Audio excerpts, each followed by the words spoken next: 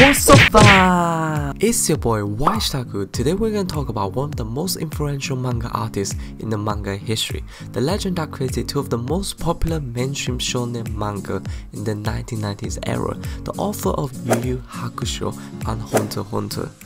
Yoshihiro Togashi. We're gonna dive into the roller coaster manga journey of Yoshihiro Togashi, an underdog story of a failed teacher to become one of the greatest manga genius to ever live, aka one of the most controversial figure in the community.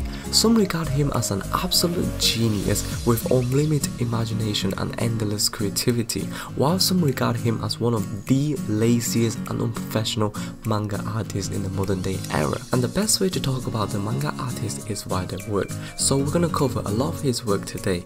And without further otaku, let's begin today's episode of the underdog manga journey of Yoshihiro Togashi. Now hit the intro fam.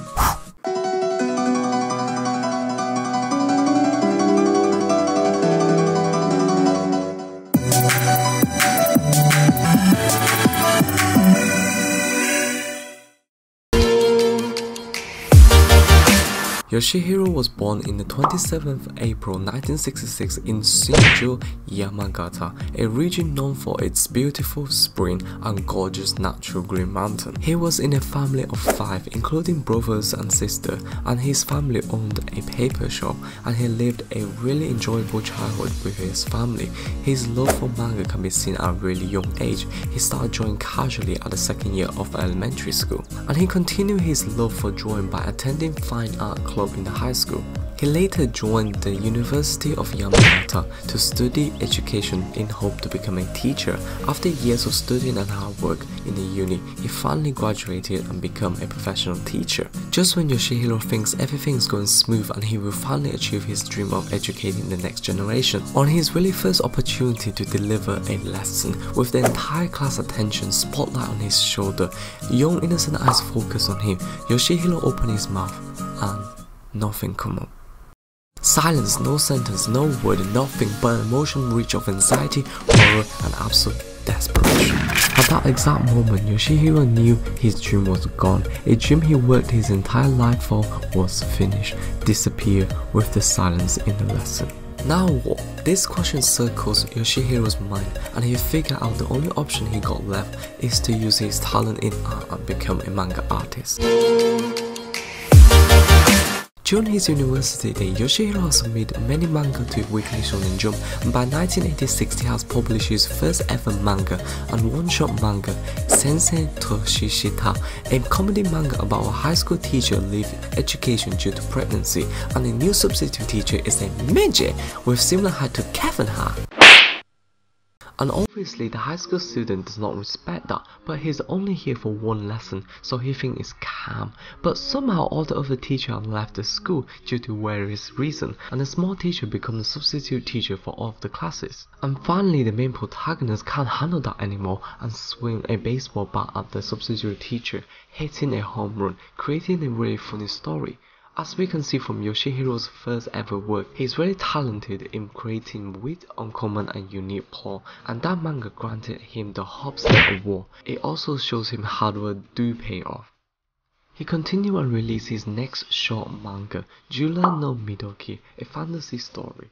And many directors in the Shonen Jump magazine saw a lot of improvement on character design, and unsurprisingly he was selected for the Hop Step Award again. With all the momentum in the war, Yoshihiro have landed his next target on the famous Tezuka Award, and the best way he knew how to do so is to combine his love for baseball and comedy to create a comedy baseball manga, Botabai Strike. Yoshihiro have improved a lot, especially in panel and action pose, making the character's action scenes more fluent.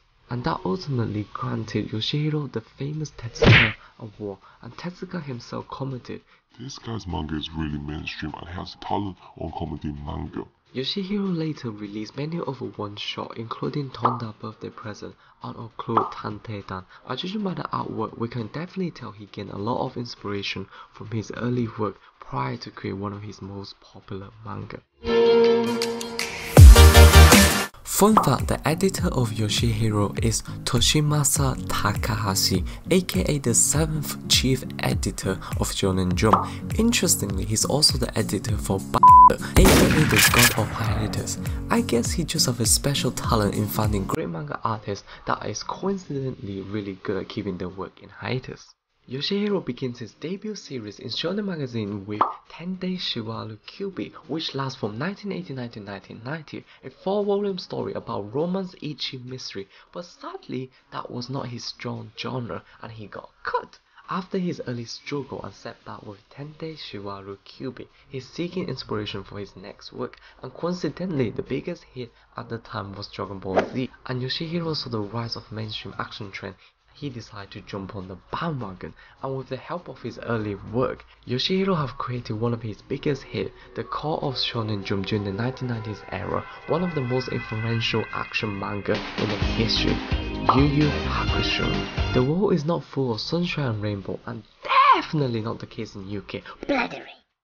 Yoshihiro had his fair share of mainstream manga struggle and we can clearly tell that Yoshihiro is not used to drawing action pose combined with a limit character perspective, and there's no way he can compete with other good mainstream action manga, especially when Shonen Jump have Dragon Ball Z at the time. So here we have a problem. Yoshihiro's artwork are too mediocre for action manga, which limit the enjoyment of Yu Yu Hakusho.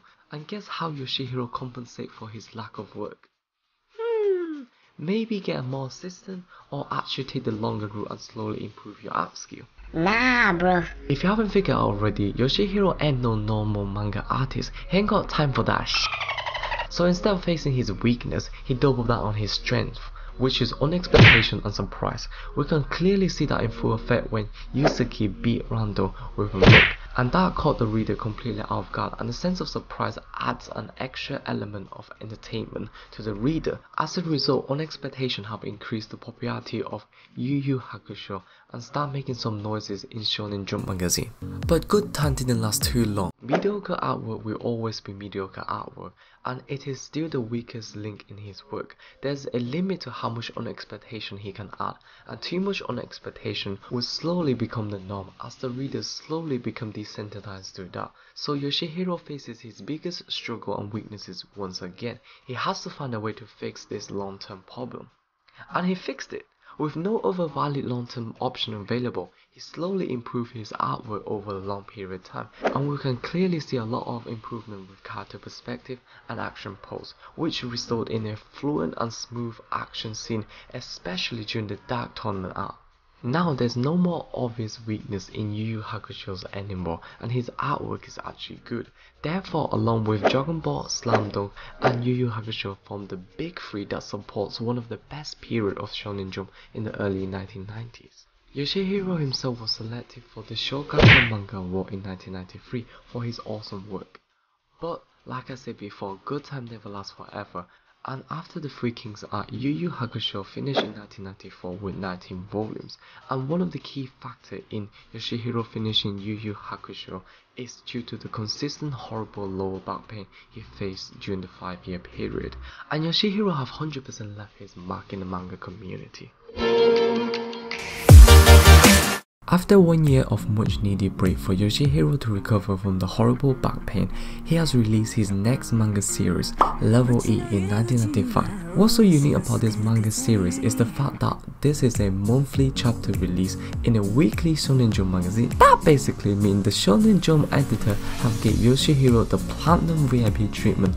It's like when you can hand in a homework a whole month after somebody else handing there, without getting roasted by the teacher. Level E has 16 chapters with 8 different stories. This manga talks about the comedy event of a prince doing dumb sh For example, killing the alien and trying to run away from it. Interestingly, Yoshihiro met the love of his life, Naoko Takeuchi, aka Sailor Moon's author, in a party hosted by Kazushi Hagiwara, aka the author in August 1997, just like Bakuman and by 1997, Yoshihiro had finished his last work with Level E and he's ready to move on to the next chapter of his manga career to create one of the best mainstream action manga of all time. Two years after finishing Yu Yu Hakusho, another core manga of Shonen Jump, Slam Dunk, finishes in 1996, which resulted in a really weak and a lacking identity Shonen Jump magazine, and it was just before the best shonen manga in my generation, One Piece, is serialized in 1997.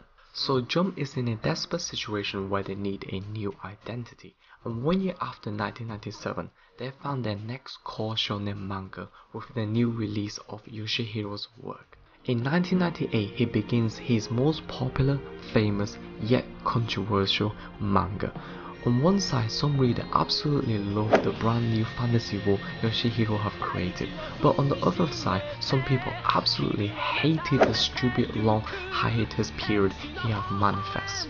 He begins the story of Hunter Hunter, a story about Gon finding his legendary hunter dad. We can see that Yoshihiro have made a few adjustments for Hunter Hunter. He has simplified a lot of background with simple plain white background. He decided to focus more on panel character design and story development instead, aiming to create a really entertaining manga. And for sure, looking back, he definitely did that. Yoshihiro have introduced many great concepts explaining the different ability of the character, and that ability skill system is by far the most balanced system I have saw in shonen manga, where all the special ability can be explained using the six names.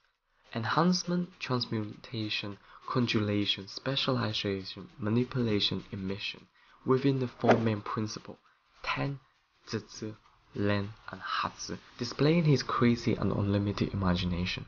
Yoshihiro has slowly reduced his artwork on Hunter x Hunter as the series progresses, and the most prominent case arrived from the Chimera Ant arc, where he started drawing less and less background and panel, and it deteriorates slowly to a draft level. But with that being said, many people still enjoyed the heck out of the unexpected ending of the Chimera Ant arc, and once again he's showing us there's nothing that Yoshihiro can't imagine.